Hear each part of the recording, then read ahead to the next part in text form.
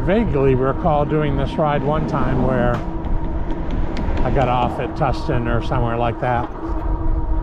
Rode down here, did the Crystal Cove thing, and then just turned around and went back.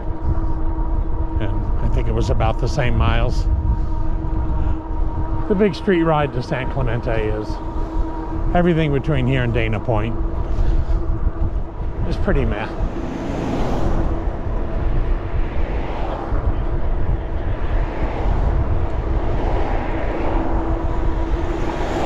The best parts are boring and the worst parts are harrowing.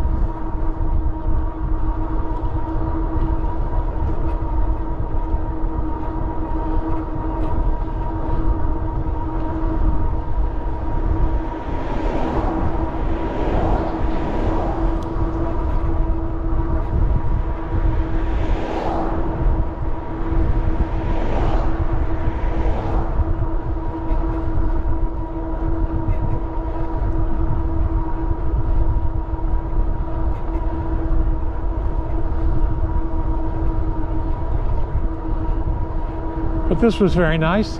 This is probably the least interesting part, although I like uh,